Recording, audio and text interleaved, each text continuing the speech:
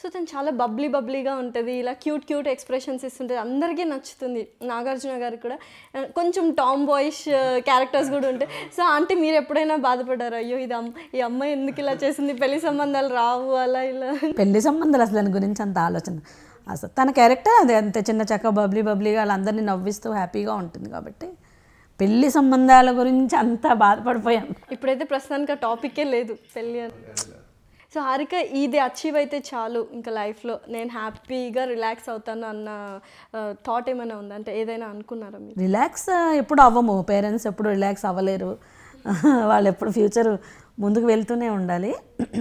కాకపోతే తనకు ఒక మంచి డ్రీమ్ ఒక మంచి రోల్ ఉంది చేయాలని ఉంది. ఒక మంచి యాక్టర్గా మహానటి సినిమా చూసినప్పుడు. అలా నా గురించి చెప్పుకోవాలమ్మా అంటుంది.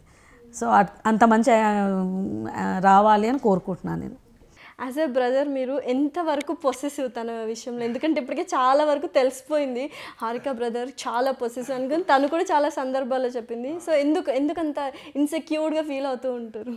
ఇన్సెక్యూర్డ్ కాదు కానీ I think right from the day she was born right from the day she was born మమ్మీని చూడడానికి వెళ్ళినప్పుడు హాస్పిటల్కి వెళ్ళినప్పుడు నాకు చెల్లి పుట్టింది నాకు చెల్లి పుట్టింది సో ఐ ఐ థింక్ అది అప్పటి నుంచి ఉండింది and age difference almost five years అండి ఓకే యా సో నాకు అది ఉండింది and I think that that is one of the main reasons అనిపిస్తుంది. అంటే చిన్నప్పటి నుంచి తనతోటి ఉండి బాగా అంటే తనకి ఏం అవ్వకూడదు అనమాట నాకేమైనా పర్లేదు? అని అమ్మ జాగ్రత్తగా ఉండ దెబ్బలు తాకించుకుంటే మా మమ్మీతో ఊరికే అనేవాడిని. మమ్మీ ఏంది మమ్మ అడిగి పోయి దెబ్బలు తాకించుకుంటుంది ఊరికే నాకే. అసలు ఎంత చూస్తాడో అక్కడ తగిలించుకుంది వేలికి తగిలింది. అవన్నీ కనిపిస్తాయి. మాకు అసలు కనిపించలేదు సీరియస్లో మాకైతే కనిపిస్తుంది ఆ, నాకు కనబడు వాడికే వాడే చెప్తాడు. అయ్యో చాలా దెబ్బలు తాకించుకుంది అక్కడికి వెళ్ళి వచ్చిన తర్వాత అడుగుదామని వెయిటింగ్ నేను. ఎందుకు తాకించుకున్నావు? అసలు ఎక్కడ తాకిందా దెబ్బ అని. ఓకే. సో ఫిజికల్ అది జారి పడితే విడిపడ్డట్టు ఫీల్ అయిపోతాడు అది ఒక ఆట అదేం కాయిన్స్ ఆట అప్పుడు నీళ్ళలో జారి పడింది కదా అప్పుడు.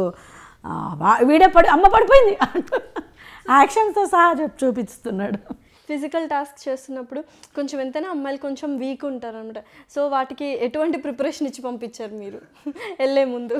ఇంట్లో ప్రాక్టీస్ చేసామండి. హ్యాండ్ ఇవన్నీ ఆ, దాని తర్వాత నార్మల్గా ఏదైనా వెయిట్స్ లేపడము నార్మల్గా వాటర్ బాటిల్స్ వస్తాయి కదా మనకి అవి అవ్- అలాంటివి కొంచెం ట్రై ఆ, మన చెట్లు ఉంటాయి కదా కొంచెం పెద్ద పెద్ద చెట్లు లైక్ బాగా ఏమంటారు? డిఫరెంట్ అవి ఏమంటారో తెలియదు. ప్లాస్టిక్వి కాకుండా ఇంకోటి వచ్చేవి. మన ఇటుకతో చేసేవి. కుంపటి అలాంటివి లేపే లేపడాలు అవన్నీ చేసింది.